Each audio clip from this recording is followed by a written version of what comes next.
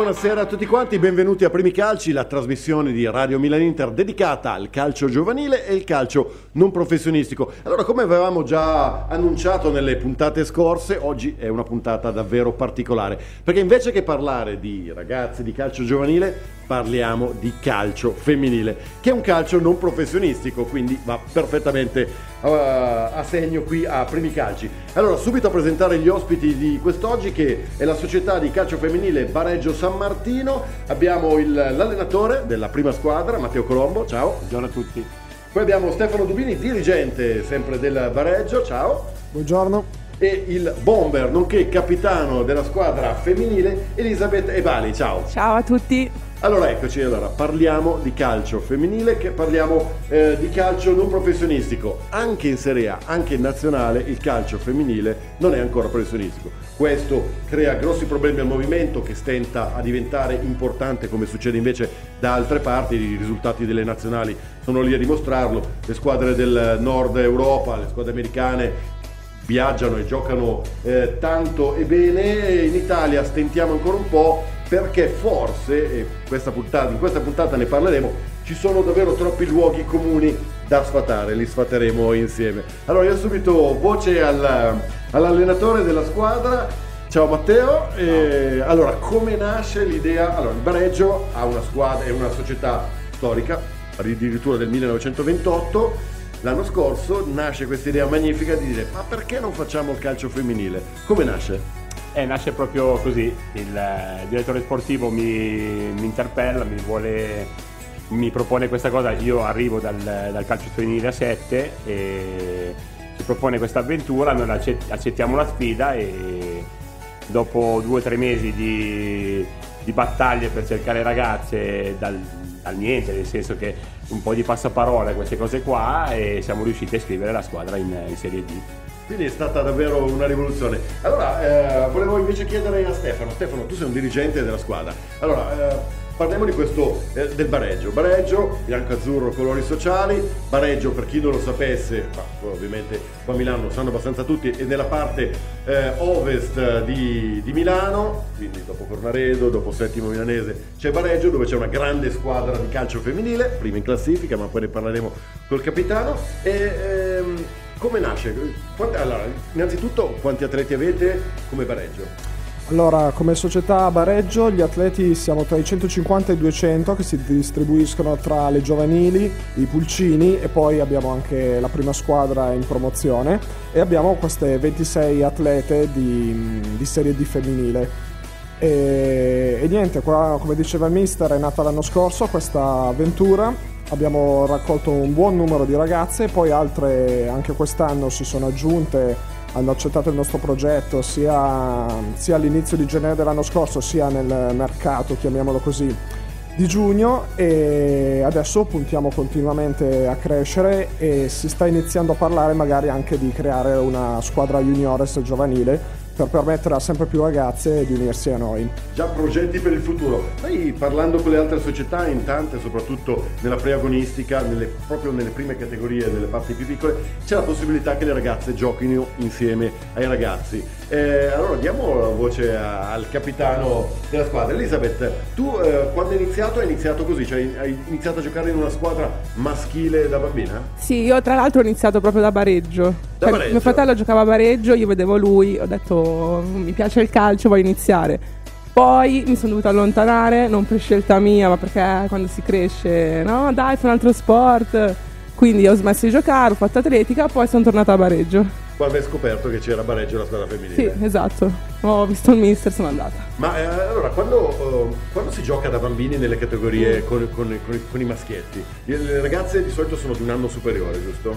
No, in realtà io giocavo con uh, bambini della mia età, sì. Eh, perché eri forte, vabbè. Quel caso particolare perché è forte. Mamme a casa, se avete bambini che vogliono giocare a calcio, non vi preoccupate, solo se sono forti come la nostra Elisabeth vanno a giocare con i pari età, altrimenti le ragazze giocano con i, i ragazzini di un anno in meno. Si fanno meno male, rendono... Ma è vero che il calcio femminile è più tecnico di quello maschile? Cioè tu riesci a palleggiare a lungo, a lungo, a lungo come il tuo allenatore? No, il mister è insuperabile in quello. no, io purtroppo no. No, ma eh, lo vedi come un calcio tecnico anche quando vedi le partite a casa? Sicuramente più si alza il livello, la tecnica aumenta. Io ho iniziato tardi a vedere il calcio femminile a livelli alti e devo dire che sono rimasta anche colpita. Mio fratello idem l'ho portato e anche lui ci è rimasto. Quindi sì. Eh, eh, allora, eh, Matteo, parliamo di tifosi. Hai iniziato questa nuova avventura, prima allenavi calcio 7, dopo finito la tua carriera calcistica. Adesso che fai l'allenatore di questa squadra femminile, quanta gente viene a vedervi? Voi siete una serie D, giusto? Che Sì, sì. l'entry level del calcio Sì, femminile. sì, no, eh, devo dire che quando giochiamo nelle partite casalinghe, pubblico ce n'è, diciamo, la Fidanzati? media. Fidanzati, fidanzate, c'è un po' di tutto, giustamente, no? Sì. E quindi Genitori parenti, anche, genitori. E quindi poi ci sono anche le squadre avversarie, quindi voglio dire, eh, vengono anche, sono seguite anche quelle avversarie. A a parità di livello c'è più seguito nel femminile, quindi che nel maschile. Ma eh, devo dire che se noi paragoniamo la nostra prima, la nostra prima squadra in promozione, siamo, siamo lì ecco, come, come- come pubblico. Che può- è un pubblico che va dai, dai penso dai. Bene, l'ultimo match, quel big match che abbiamo fatto contro il Tabiago la- nel giorno di ritorno che abbiamo vinto, e c'erano una sessantina, settantina di persone, quindi non male per paga il essere- biglietto? Si paga 3 euro, 3 euro, ok. eh, una minima quota, vabbè. No, no, no, ma lo fanno E anche tutti quindi- anche per, per i bambini. Alla fine le società non professionistiche entrate da qualche parte per arrotondare, per mettere a posto i conti, eh, si fa così. E allora volevo proprio parlare con, con Stefano. Stefano, quando uh, tu e gli altri dirigenti avete scoperto che c'era questa idea folle di fare una folle, questa idea innovativa di fare una squadra femminile, eh, che discussioni ci sono state in società? Allora- C'era, c'era qualcuno un po' retrogrado che ha detto no, le, le ragazze non possono giocare a calcio? No, fortunatamente siamo stati prima di tutto ispirati dalla scelta che è stata sia del direttore sportivo che del presidente. E quindi più o meno il direttivo ha deciso all'unanimità, poi siamo stati anche molto fortunati di trovare uno staff che è stato molto compatto, molto mm, anche altruista nel portare avanti questo progetto e dobbiamo ringraziare in primis loro per il lavoro che svolgono tutti i giorni e che rendono possibile questo progetto, quindi dal mister, i preparatori, il nostro secondo allenatore mental coach, quindi è una presenza importante che ci ha dato una grande mano. Quindi avete anche un mental coach. Un- è, un, sì, è un amico, Sì. un mio amico che mi ha seguito in questo progetto e abbiamo iniziato a lavorare insieme quando eravamo ancora nella squadra 7 e sì, lui è- dà una grande mano su- sotto questo profilo sicuramente. Poi abbiamo, come giustamente diceva Stefano, abbiamo Fabio che è il preparatore atletico della squadra, anche lui ci ha seguito dall'anno scorso, poi c'è Ivan, eh, Ivano eh, per la precisione, allenatore dei portieri, quindi lo staff, poi c'è Stefano che fa la parte diciamo quella, quella faticosa perché non è semplice comunque occuparsi della parte burocratica, comunicazione, queste cose. E quindi ci siamo formati, siamo un bello staff, i risultati arrivano anche per queste cose sicuramente. I campi sono in erba, in terra o anche in sintetico? Ma un 50 e 50, troviamo diversi campi sintetici, il nostro è naturale, è un campo abbastanza Quindi classico datato. verde sulle fasce, marrone Verde, al Che centro. provincia, esatto, certamente. Quello d'allenamento è meglio che non ne parliamo. L'allenamento tende tutto al Quindi- marroncino come quasi tutti. Beh, d'altronde tante squadre, tanti giocatori, i campi sono così. Molti mettono i campi in sintetico proprio per quello, perché alla fine hai il terreno sempre perfetto, anche quando hai tante categorie che si allenano. Il campo non, non va così tanto in stress. Ehm, allora, par- parliamo di soldoni, che è una cosa che facciamo spesso qua quando si parla di bambini. Allora, il genitore al bambino che vuole eh, giocare a calcio lo porta in, in una, nella società più vicina o quella del compagno di classe e, e poi ha, ha dei costi ovviamente, uno si iscrive a calcio come si iscrive in palestra, come si iscrive a qualsiasi passatempo, eh, in questo caso sport, e, e paga una quota. Parliamo del calcio femminile. Mia figlia vuole giocare a calcio, io non ho una figlia, però se volesse giocare a calcio la farei tranquillamente giocare a calcio e le direi, va bene, andiamo in questa società, vediamo quanto vogliono, quanta è la quota di iscrizione? Allora, noi da quest'anno la quota di iscrizione è zero, È zero addirittura. addirittura sì, e anche i kit sono completamente coperti perché siamo riusciti, proprio con questo intendevo l'altruismo dello staff, a trovare sponsor, a trovare... Abbiamo fatto un progetto di un calendario che ci ha permesso di raccogliere sponsor tra anche piccole aziende e ci ha permesso di coprire le spese di questa stagione e anche lo staff ha contribuito in varie percentuali alla, al finanziamento di questa avventura di quest'anno. Quindi le ragazze al netto di, di quello che è stato invece il primo anno che abbiamo fatto una piccola quota, il secondo anno è completamente zero. Che Urca, questa è una- davvero un'ottima notizia e quasi una mosca bianca questa cosa, io te lo dico per le varie categorie, anche per i vari sport. Se riuscite a fare questa cosa vuol dire che siete davvero un'ottima società e ben organizzata per trovare anche gli sponsor. Ma parliamo di cose più interessanti. Allora, ci sono tantissimi luoghi comuni riguardanti il, eh, il calcio femminile. E allora il microfono va sicuramente al nostro capitano, che voi dovete sapere. Se per caso prossimamente andate sul campo di Bareggio a vederla giocare, non la vedrete giocare perché sarà in tribuna. Perché i capitani, quando vengono buttati fuori, beccano la doppia squalifica in quanto si è capitani. E allora, qual è il ruolo del capitano? Così glielo dice al tuo mister? Eh, non fare quello che ho fatto io, per esempio. No, che cosa hai fatto? Eh, Raccontiamolo a casa. Praticamente è successo che due partite fa, eh, finita la partita, io ero felicissima di aver pareggiato e ho sentito un commento razzista da parte di un'avversaria e non, ho- non sono riuscita a mantenere il controllo, quindi ho avuto una piccola reazione che è stata punita doppiamente in quanto appunto capitano. Quindi, tafferuglio a fine partita. Eh, Beh, il calcio, il calcio femminile, ragazzi a casa, il calcio femminile è interessante, ci sono anche i tafferugli a fine partita. Quindi su questo, ecco, un luogo comune, il calcio femminile non è un calcio per fighette, fighette si può dire perché in questo caso l'accezione è chiaramente eh, simpatica. Continuiamo ad andare avanti con i luoghi comuni. Allora, altro luogo comune è se mia figlia giocasse a calcio, finirebbe per avere le gambe ad arco belle storte.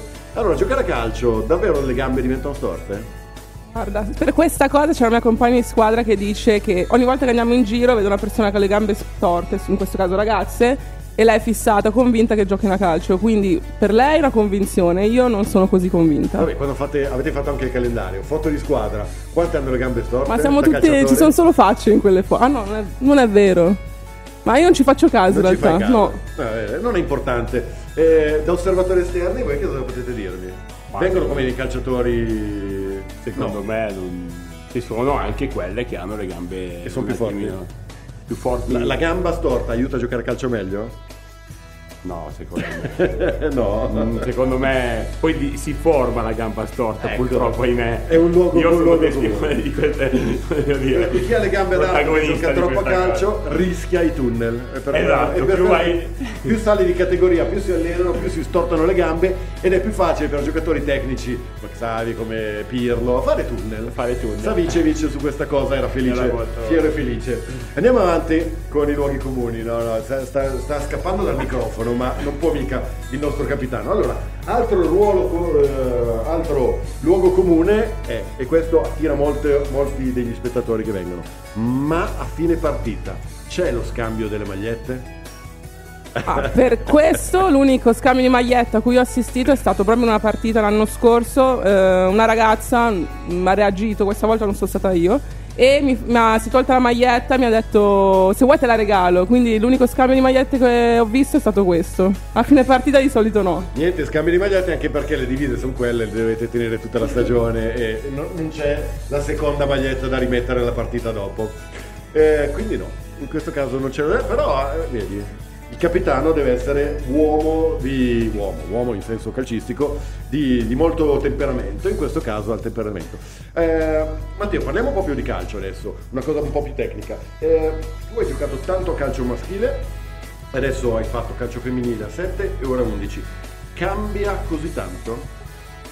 Sì, cambia, cambia, cambia, cambia, cambia tanto perché comunque cambia l'atteggiamento che un allenatore deve avere eh, nei confronti della- delle, delle ragazze in questo caso perché comunque mh, hanno un atteggiamento molto più osservano molto e ti senti anche molto, non dico sotto esame, però ti senti comunque partecipe, hanno una dedizione che credo che nei, nei ragazzi, non, non ha- i ragazzi non hanno fino a, questo, a quel punto. Cioè, Una sono- ragazza se gioca a calcio lo fa veramente perché lo vuol fare è, è tan- contro luoghi comuni, contro si percepisce una passione, cosa che non è che non c'è nel maschile, ma eh, devo dire che questa cosa eh, si nota. E poi hanno, non hanno la supponenza nel, nel calcio femminile è, è cosa, è cosa molto rara. Cosa che invece in certe categorie del, del calcio maschile è facile eh, dover poi come dire gestire, ecco, diciamo così. Ma fallacci, simulazioni? No, ci sono. Il peggio del calcio c'è.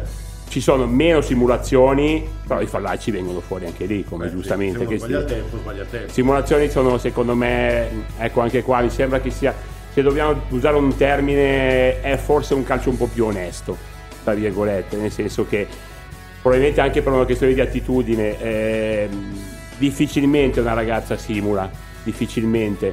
Poi ci sono i casi però. Stiamo invece, a, però- casa, attenzione, stiamo parlando di calcio. Eh. Sì, stiamo Non parlando di calcio. idee strane, stiamo parlando di calcio femminile, calcio non professionistico e in questo caso non simulano le ragazze, cioè positivo. Ma eh, prima parlavamo anche di magliette. Ehm, quindi tu sei attaccante, giusto? Sei un bomber, sei il, il Sì, sì, nove, sono l'attaccante. Capocannoniere del girone. Per adesso sì. E in questo caso le, le avversarie non si affezionano alla maglietta? Ti Eh. calci d'angolo, cioè che proprio ti, Sì, sì, poi a sì, fine, sì. a fine partita diresti tu, eh, la maglietta la vuoi davvero? Però, Esatto. eh, Esatto, per adesso non, non mi sono ancora strappata, però ci sono molti avversari che si affezionano al mio numero 9. Ma tu sei un attaccante di quelli che picchia? No, eh, anzi mi dicono che picchio poco. Ah, Picchio poco. poco. E questo è la parola? Molto poco. Eh, Ma come si sceglie un capitano? Beh, è stata un bella, anche questa fa parte del progetto, della strada che abbiamo percorso insieme a, in questo caso insieme a Oscar, che è il nostro mental coach, il mio, il mio collaboratore, il mio secondo.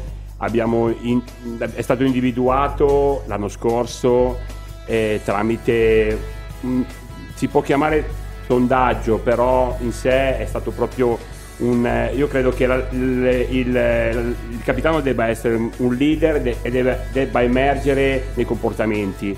E quindi anche tecnicamente, anche tecnicamente, però anche a livello personale credo che venga individuato dalle persone, in questo caso dalle ragazze, eh, proprio perché, mh, perché c'è un comportamento nel gruppo dove eh, c'è proprio si, si sente che emerge quel, eh, quello spirito, quel, eh, secondo me quella, quell'immagine della- del, del- giusto capitano. Ecco.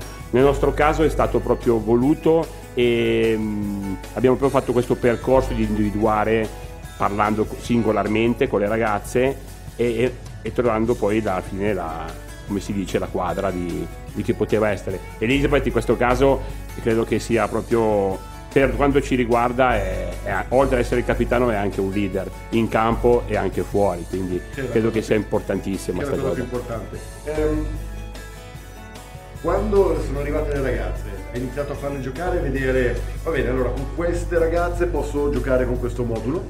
Oppure tu sei un oltranzista per cui hai un'idea tua del modulo e le ragazze si devono adeguare? No, io, io sono per. eh, non, ho una- non ho un principio di calcio proprio così definito, sicuramente ho delle, delle mie idee. Quello sicuramente che sto cercando di fare con loro e, e dall'anno scorso che il nostro percorso è, è proseguito così è di cercare di giocare il più possibile la palla nel limite del possibile, ma ehm, considerando anche quello che poi abbiamo, nel senso che un generatore deve sempre avere- deve essere bravo a eh, analizzare il materiale che ha in, in mano e da lì partire con sicuramente uno schema di gioco, un modulo, un sistema di gioco, ma poi deve adeguarsi anche l'allenatore. ecco.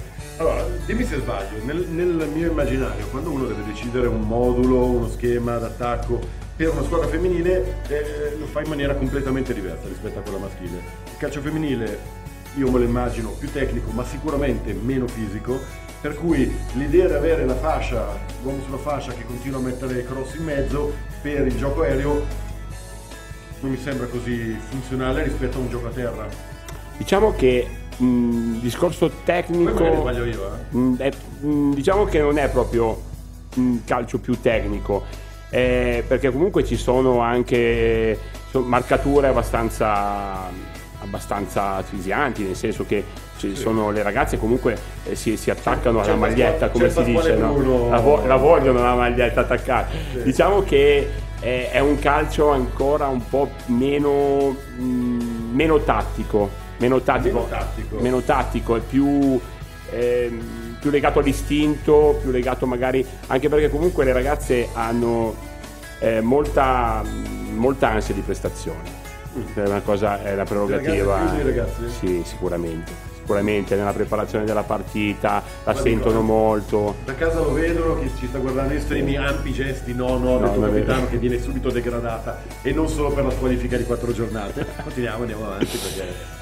Devo dire che eh, noi abbiamo delle armi come squadra, eh, abbiamo, una- abbiamo un attacco che è un attacco eh, di, quelli, di quelli potenti, perché oltre alla nostra Elizabeth che ha fatto 23 gol, abbiamo anche la Gaia eh, che è un altro bomber che ne ha fatti 17, quindi stiamo parlando di... Eh sì, Sì. devo dire che poi, poi abbiamo, abbiamo le veterane che danno una mano dietro, che supportano questo attacco che insomma abbiamo la Pamela, la Cristina che sono due che hanno un'esperienza e quindi eh, sono due Che, che... io le chiamo per la metto l'articolo davanti ah, da buon milanese no? Ah, certo.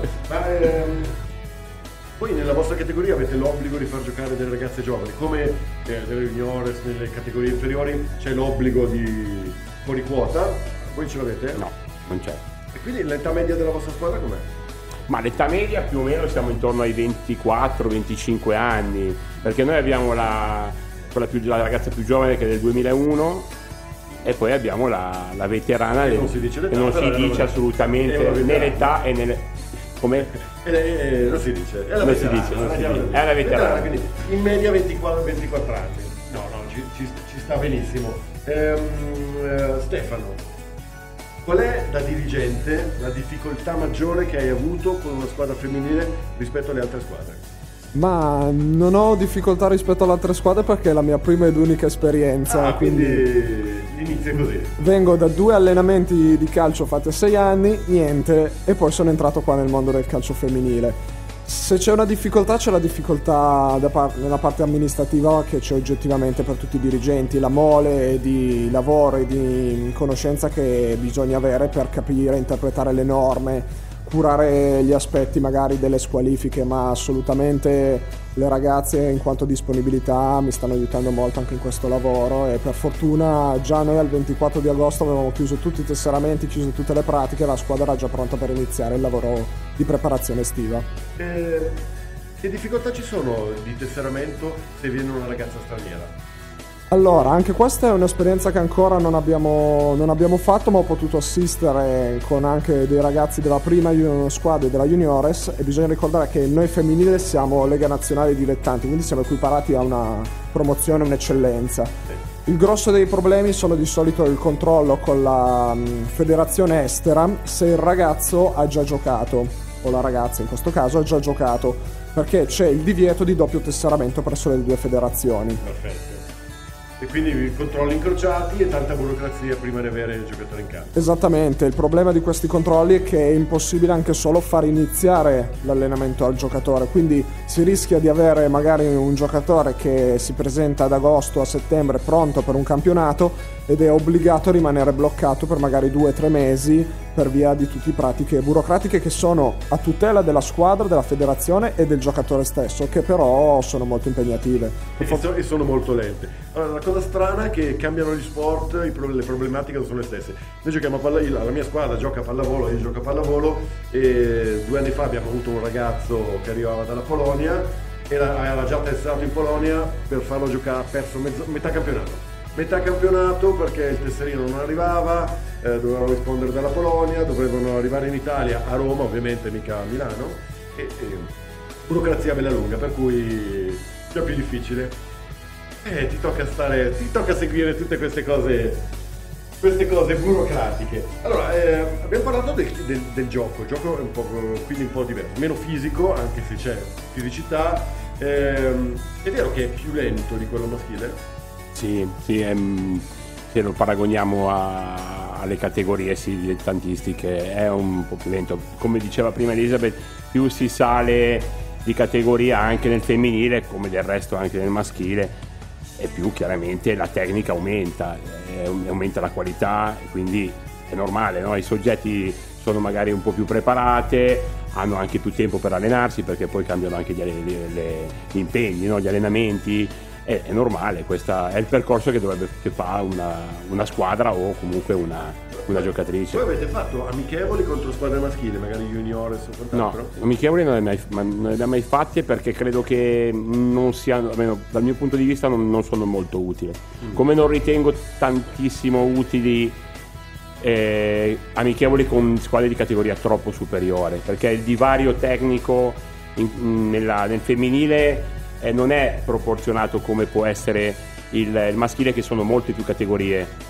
Dalla serie D alla serie B, in questo caso passando da una categoria in mezzo che è la C, c'è una- un abisso, un abisso, un abisso. Quattro categorie nel calcio femminile e chissà che non aumentino con l'aumentare della...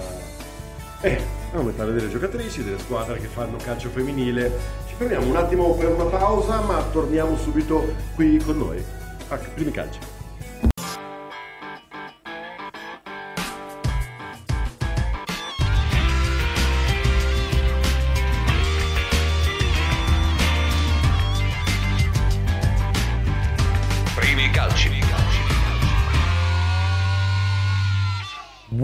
Ed eccoci tornati a Primi Calci, la trasmissione di Radio Milan Inter dedicata al calcio giovanile non professionistico. Oggi in studio abbiamo il Bareggio Calcio Femminile, Bareggio San Martino, questo il nome completo. Stiamo parlando di calcio, di calcio femminile e stiamo sfatando tantissimi luoghi comuni.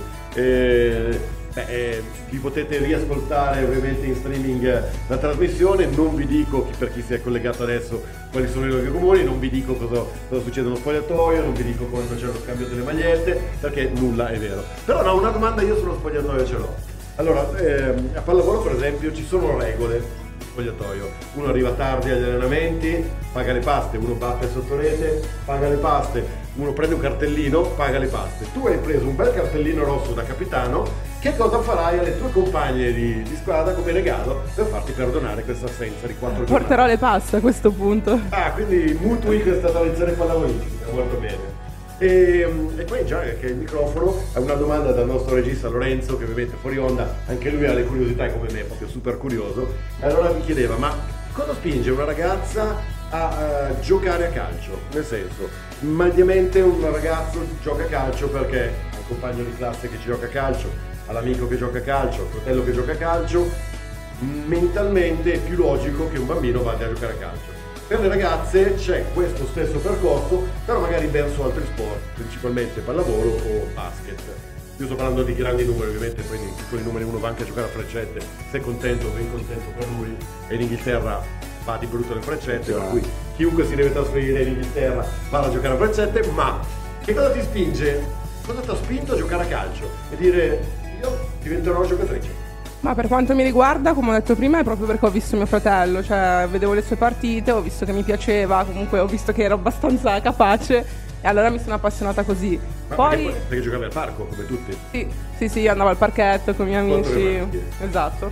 E, però come discorso generale credo che come in tutti gli sport sia una passione, cioè se io seguo il calcio in televisione vuol dire che mi piace, poi se ho la possibilità di giocarci ci gioco, come se io seguissi la pallavolo probabilmente avrei la passione per la pallavolo e proverei a giocarci. Poi magari non è così, per me è stato diverso, però provo a mettermi nell'ottica del mio compagno. Ma in, in spogliatoio avete qualche gesto scaramantico prima di iniziare la partita? Sì, prima delle partite abbiamo un urlo. Un urlo? Sì, che dovrei, non lo posso dire perché è censurato, cioè rimane nel nostro spogliatoio. Ok. E, esatto, quindi però ce l'abbiamo. Il vostro spogliatoio è come Vegas. Quello che succede nel vostro spogliatoio Rimane nel nostro rimane nel spogliatoio. vostro spogliatoio, eh, cioè positivo. Quindi avete un... Ok, sei tu il capogruppo Sì, che mi prendono in giro perché quando faccio questo urlo mi viene la voce acuta, io ho la voce abbastanza bassa e quindi mi faccio aiutare da due compagni adesso per dare sostegno alla mia voce. Ecco, un'altra, un'altra curiosità che ho, eh, sempre per quanto riguarda lo spogliatoio. In tutte le categorie, in tutte, sia dei bambini ma anche degli adulti, alla fine dirigenti e allenatori entrano nello spogliatoio per fare la ramanzina, questo, quell'altro, spiegare le cose prima della partita. Eh, Voi come fate? Cioè, avete fuori il cartellino non disturbare, quando siete tutte vestite pronte lo tirate via e uno può Esatto. entrare? Quando siamo tutte pronte faccio un cenno al mister, entra e ci fa le sue spiegazioni. Prima non entra nessuno. Prima non entra Sì, nessuno. sì. Eh, eh, ci ha provato qualcuno, qualche tifoso? No, no, no, no, sono chiusi tutti fuori. Ma arrivano tipo anche in società, poi, eh, arrivano in società letterine d'amore, gente convinta. Eh, ma in questi tempi ti scrivono magari su Facebook. Ah, fanno prima io che antico. Eh, social. Cioè, veramente si può tornare indietro con la trasmissione tolgo questa parte qui perché veramente fa di me un anziano e l'ho offeso per cui ecco ci sono, ci sono appassionati di calcio che vi puntano se poi così si può dire perché vi vedono gioca- giocatrici. Magari sì, cioè, parlo per me, è capitato che abbiano scritto su Facebook eh, venga a vedere la prossima partita, come sei forte, queste cose qua, però tu le fai da, da... le tieni concentrate Eh beh, direi. Oh, Proprio. non che mi fanno tipo l'attaccante dell'Inter che è molto social lui Eh, appunto. appunto allora continuiamo ah no oh questa è un'altra curiosità che mi interessa molto per sentito parlare della rappresentativa lombarda allora, rappresentativa lombarda del calcio femminile, non ne so nulla e a casa probabilmente anche gli altri non ne sanno molto. Quindi un dirigente che ha studiato pronto ci spiegherà tutto. Che cos'è? Di cosa si tratta? Allora, mh, l'anno scorso, che è stato il primo anno in cui noi abbiamo partecipato, era, mh, era legata alle Under 94 come annata d'età ed è praticamente riunisce le migliori giovani della Serie C e della Serie D femminile delle varie regioni. L'anno scorso è stata convocata Elizabeth, Quest'anno è stata convocata Giulia Losi, il nostro portiere, e, mm, ed è una bella soddisfazione per noi come società perché eh, su questo, quest'anno noi siamo l'unica squadra della Serie D ad aver avuto una convocazione e a memoria credo anche l'anno scorso, però no- non lo dico con certezza, perché di solito buona parte delle giovani della rappresentativa vengono dalla Serie C. Segno anche che il livello anche di questo campionato, pur essendo una categoria inferiore, si sta un po' alzando e che si inizia finalmente a lavorare bene anche con le ragazze più giovani. Per noi in particolare poi è una bella soddisfazione proprio perché due anni su due abbiamo centrato l'obiettivo, adesso lavoriamo per le Under 96 dell'anno prossimo per fare il TRIS. Bellissimo. Ma Elisabetta, allora sei stata in questa rappresentativa lombarda. Eh, come funziona? C'è una sessione di allenamenti con Ehm, gli allenamenti della federazione? Sì, è funzionato così. Io ho fatto due amichevoli prima di partire per il Trentino. Abbiamo fatto due amichevoli contro squadre di serie superiori. Poi hanno fo- formato il gruppo definitivo. Siamo partiti, abbiamo fatto cinque giorni. Servite, riverite, mi sono sentita una VIP in quei giorni. Sì. E, fa- immersion di calcio però. Sì, sì, però mi cioè, sono rimasta colpita perché avevamo tutto a disposizione e quindi ho pensato chissà in Serie A come le seguono, come le curano. Mi sono sentita veramente... Ma perché questo è Berlusconi che lo faceva già all'epoca del Milan, ovvero il giocatore non deve pensare a null'altro che non al campo, il resto ci pensa tutta la società, in questo caso la federazione, per cui ci sta. Quindi hai reso meglio essendo coccolata? Ero veramente concentrata, sono contenta di come ho giocato, ero carichissima in quelle partite. Poi ovvio avevo l'adrenalina, quindi volevo far bene, però sono soddisfatta, sono state delle belle giornate. E, e si impara qualcosa di diverso rispetto Beh, a... sicuramente mettendo insieme giocatrici, io ho giocato con molte ragazze di Serie C, quindi che giocavano, giocavano veramente, veramente bene, giocavano in un modo diverso da come giocavo io. E sono stata quasi, non costretta, comunque portata a giocare in un modo mm, bello, cioè comunque che dici, mi ho giocato a calcio. No, è vero, è vero. Va bene, la- lasciamo stare la faccia che ha fatto il mister quando ha detto finalmente giochiamo a calcio. Da casa ci hanno visto quelli che si guardano guardando in streaming, gli altri sempre Eh, magari... È, è la mia predica, Eh, quindi certo, voglio te, dire. te la sei, te la sei scelta te come capitano, per cui ti, ti- te la becchi anche quando ti manda le frecciatine. Ehm, altra cosa interessante, allora abbiamo sentito, ci sono giocatrici giovani, giocatrici forti e come mercato vuole per qualsiasi, per qualsiasi squadra, per qualsiasi categoria c'è il calciomercato. E allora, per esempio, c'è la possibilità che arrivi un'altra società pur essendo calcio dilettantistico, calcio non professionistico, e dica, ma sai che c'è? Io vorrei il bomber uh, fumantino lì davanti. Sì, In questo assolutamente. caso cosa succede? In questo caso la trattativa è come, come al solito per tutte le leghe dilettanti, c'è prima la trattativa per il cartellino con la società o con chi detiene il cartellino e poi chiaramente deve esserci la convinzione della ragazza o del ragazzo di approdare società. nella so- nuova società.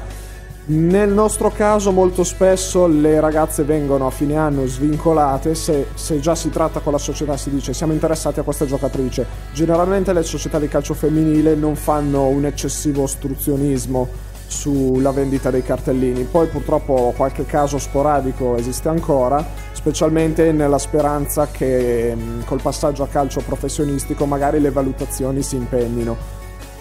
Però ai nostri Non c'è ancora livelli... però il calcio professionistico. Esattamente, perché ogni anno si, Se ne si- parla. se ne parla e quindi ogni anno c'è qualcuno che spera di poter anche magari volgarmente lucrare su, su quello che è comunque una ragazza che vuole giocare perché ai nostri livelli non si pensa più al livello professionistico, si pensa semplicemente a voler giocare con le amiche con un buon grado di competitività ma è una passione. Il, il tesseramento, il, il tessere delle ragazze, ehm, sono come quelle dei maschietti, cioè ovvero quando sei piccoli dura un anno, poi a una certa età firmi e fino ai 25 sei bloccato.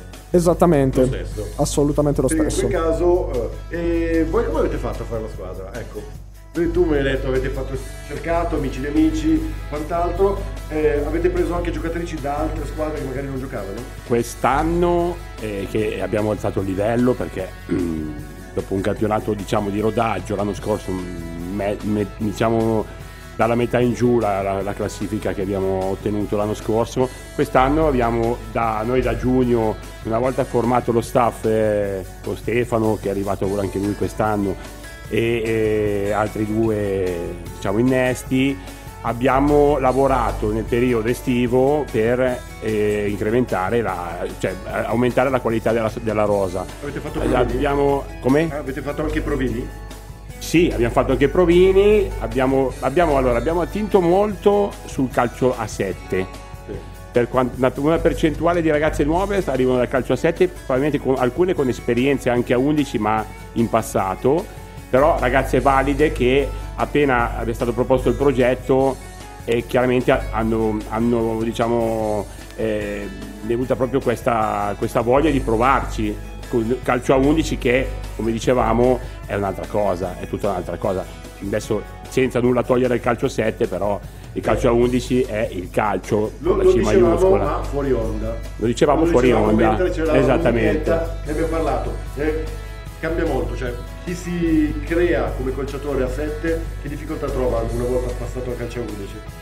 E poi dipende molto dal ruolo, dipende dalla, diciamo, dall'attitudine che ha la ragazza e dal ruolo. Però sicuramente ecco, sulla parte difensiva l'anno scorso abbiamo avuto delle difficoltà enormi perché erano tutte ragazze che arrivavano dal 7. Quindi niente raddoppi, niente incroci, niente... Non c'è diagonali. niente nel 7 di questa cosa, c'è C'è una marcatura sulla punta che chiaramente deve... Mentre eh, dice, per chiudere il discorso della, della rosa composta di quest'anno abbiamo avuto anche il- l'arrivo di, di Gaia che arriva dalla Serie C, Chiara anche lei arriva dalla Serie C e quindi l'anno scorso a, me- a metà anno sono arrivate eh, Nicole che arriva anche lei dalla, arriva dalla Serie C, quindi tutte queste componenti Come hanno fatto fatto sì. così tante giocatrici di una categoria superiore? Ma devo dire che più le cose vanno bene, più la, la voce eh, diciamo si eh, comincia a girare, no? Che c'è un bel gruppo, c'è una bella squadra, c'è, c'è uno staff organizzato e più vengono, a noi ci scrivono tante ragazze, a Stefano scrivono sulla pagina Facebook eh, o comunque Vorremmo col numero di telefono. Eh, sono interessate a provare una nuova esperienza eh, in una squadra nuova, magari anche ragazze che magari sono anche ferme da un anno per vari motivi, per studi, queste cose qua. Perché non è preso, a differenza magari dal maschile, non c'è questa, questo accanimento, non essendoci rim- anche soldi, tra virgolette, no? Come può succedere nel caso, io ho giocato comunque in promozione, eccellenza, quindi so anche che sono i soldini da prendere, no? E in questo caso loro giocano proprio totalmente per passione. Non c'è proprio rimborso né Quindi è niente. per quindi- quello che le si svincola se vogliono andare via. sì, anche questo e poi probabilmente guardano di più il lato eh, emotivo, il lato del gruppo, il lato di, di- di voler star bene, no? Eh, ah, una cosa, un altro, ecco, per esempio io so della pallavolo che è così, magari così anche nel calcio. Allora la differenza tra una squadra maschile e una squadra femminile di pallavolo dello spogliatoio è che le ragazze non te ne fanno passare una liscia. Cioè, Se, liti- se due litigano, basta, nemiche per la, per la- per la vita. Tra, tra noi ragazzi, se c'è uno screzio, qualche parola vola, qualche spintarella anche, ma il giorno dopo si è dimenticato tutto. Davvero le ragazze se le legano al dito e poi come allenatore devi stare proprio attento a queste dinamiche di spogliatoio a gruppi e sottogruppi? E bisogna stare attenti, sì. È il mental coach che ti, ti Il mental coach, io mi appoggio al mental coach, ci pensa lui, dico prendi tu in mano la situazione, no. Comunque sì, eh, bisogna stare un po' più attenti a queste Cioè è cose. diverso, cioè la si, Sì, la si sì, sì, cosa. sì, Sì, È proprio, è proprio così come hai detto. Eh, Elisabetta, quando succedono cose del genere spogliatoio, che due ragazze litigano e mai più faranno pace finché morte non le separi, in quei casi tu come fai a mediare? Ma io per quanto non sembri sono una persona pacata e quindi cerco, cioè penso che il ruolo del capitano sia quello mh, non di essere amica di tutti, ma cercare di capire tutti. Quindi di cercare di capire qual è l'esigenza di una compagna, quella dell'altra, poi fare una sorta di essere in- l'intermediario poi con l'allenatore. E devo dire che in una squadra femminile le dinamiche che si creano sono tantissime, sono difficili da tenere sotto controllo. Quindi ammetto che sia complicato. Le antipatie sono antipatie vere. Ma in realtà nella nostra squadra le antipatie. mm, io ho giocato in una squadra in cui c'erano tante antipatie. Qua niente a confronto. Ah, qua, l'isola felice, questo è il motivo per cui tante ragazze eh, scrivono a voi su Facebook. Allora, parliamo proprio di come raggiungervi. Allora, voi ovviamente siete a Vareggio, zona ovest di Milano, ma in quest'era tecnologica io non dico più prendete la cartina, tutto città, cercate con la vostra mappa e andate lì, ma o accendete Google, eh, come parlo moderno, o accendete Google e andate con, con un bel navigatore velocemente, o addirittura anticipate i tempi, passate ai social e direttamente vi collegate con il eh, Vareggio. Come fanno da casa a trovarvi dunque? Allora, abbiamo la nostra pagina Facebook ufficiale che è ACD Bareggio Femminile, ACD. esatto, Associazione Calcistica Calcistica Dilettantistica, che è curata da me e in co-working col mister. Sì. E poi abbiamo. mh, eravamo partiti addirittura col progetto di Twitter e YouTube, ma diventa veramente complicato. Abbiamo invece portato avanti la pagina Instagram, che ha lo stesso nome della.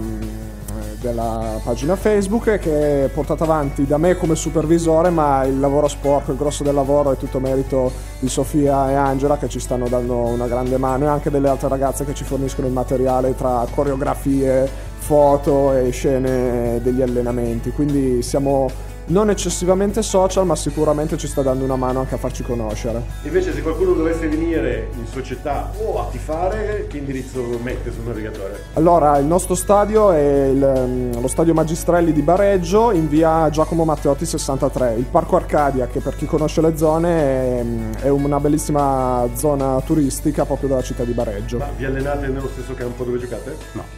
Eh, il campo di allenamento è proprio, proprio, eh, in corrispondenza del parco Arcadia, quindi sentiamo di sera quando ci alleniamo sentiamo anche i versi dei- dei- degli animali che fanno parte di questo parco. Ma cambia il, il fatto di giocare in un campo diverso da quello con cui si ci si allena?